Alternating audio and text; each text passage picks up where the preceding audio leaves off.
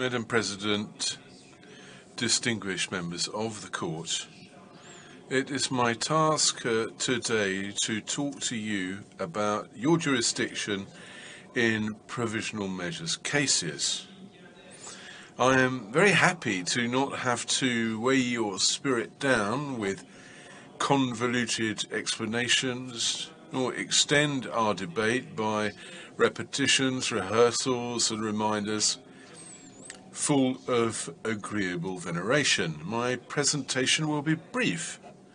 Why? Well, because your jurisdiction is easy to demonstrate, and all the more so given the prima facie blueprint to which it is subjected.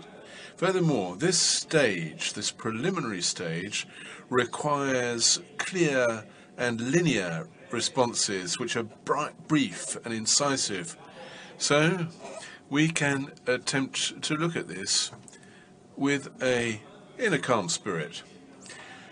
The court has asserted on numerous occasions that the court need not satisfy itself in a definitive measure that it has jurisdiction as regards the merits of the case. It is sufficient for the court to conclude if the provisions relied on by the applicant appear prima facie to afford a basis on which its jurisdiction could be founded.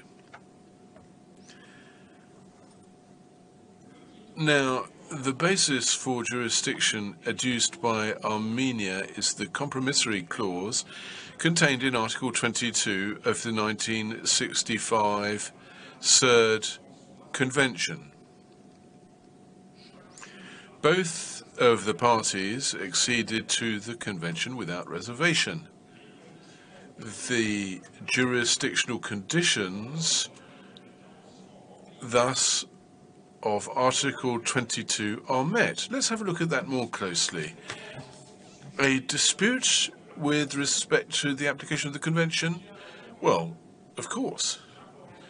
Correspondence between the parties in the court's possession both attests and confirms it. Armenia alleged by its letter of 11 November 2020 that Azerbaijan had breached and continued to breach different obligations of the convention.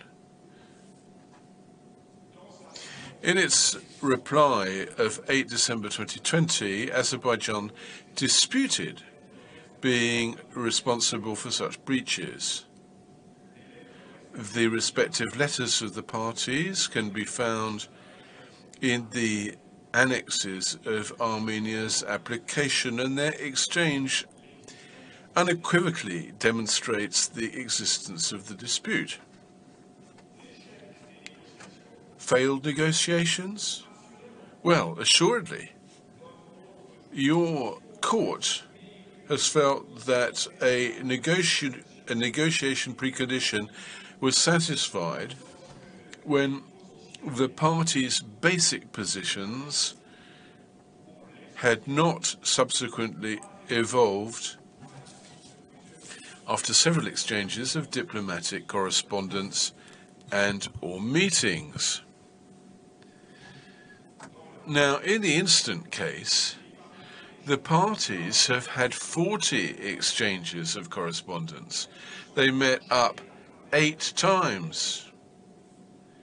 And the parties have exchanged their views in a number of ways. But no agreement came about. Azerbaijan's positions on Armenia's claims have not varied, they remained negative and the position of Armenia hasn't changed during these lengthy exchanges.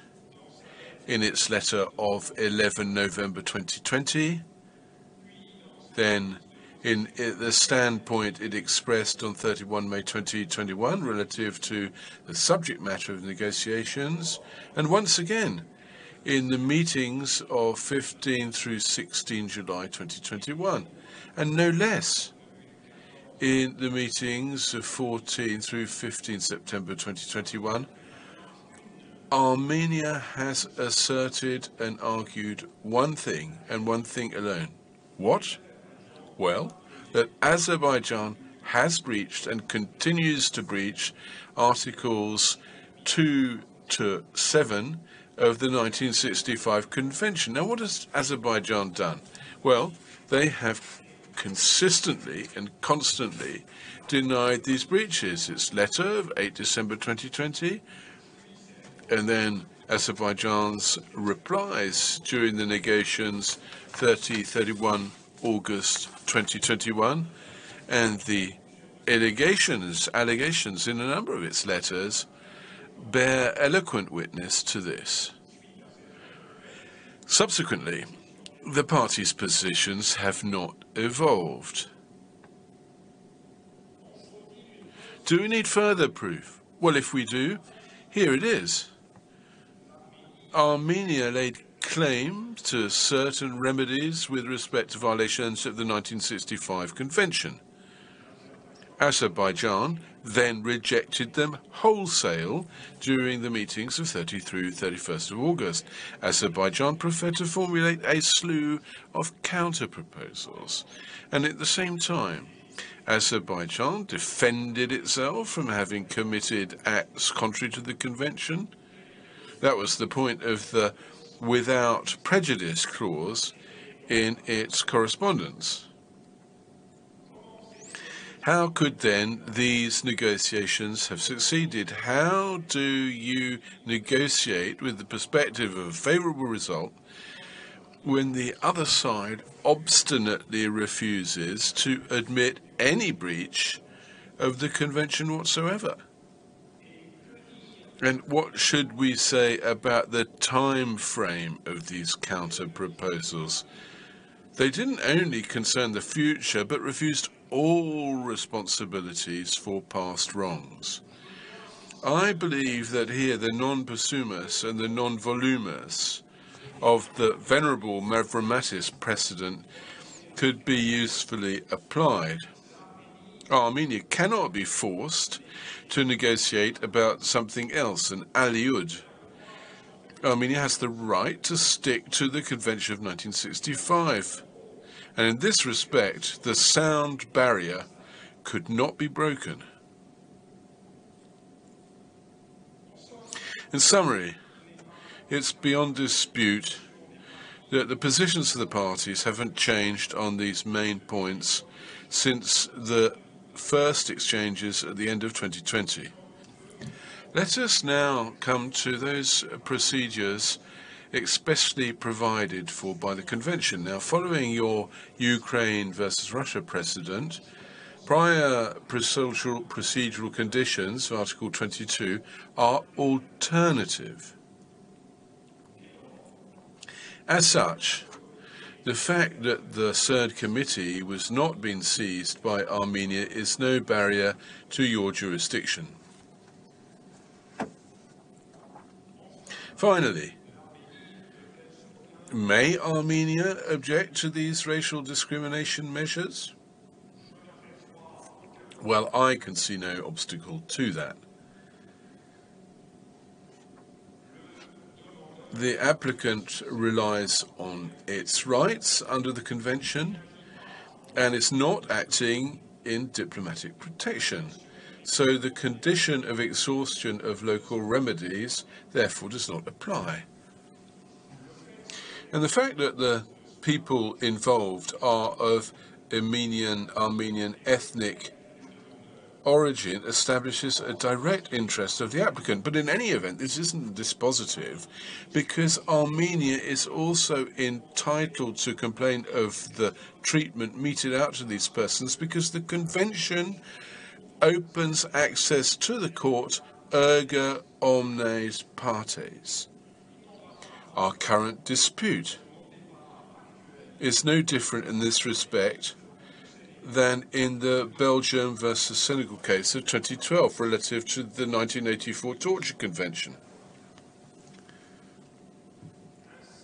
Thus, as you will have noted in reading Armenia's application, Armenia considers itself entitled to adduce the responsibility of Azerbaijan under the convention, both as an injured state and as a non-injured state, within the meaning of Articles 42 and 48 of the 2001 Articles of the International Law Commission on International Responsibility of States.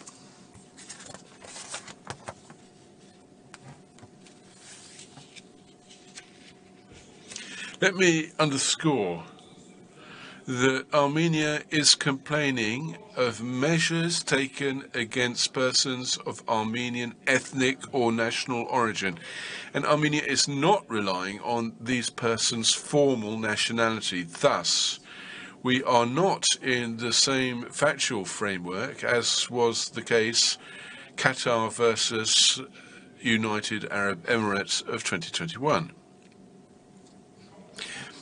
My conclusion is that the court has jurisdiction to entertain the Armenian application, and even more so, does the court have prima facie jurisdiction to entertain a request for provisional measures. To sum up, the legal basis on which Armenia seized you is beyond reproach and its action is wholly admissible.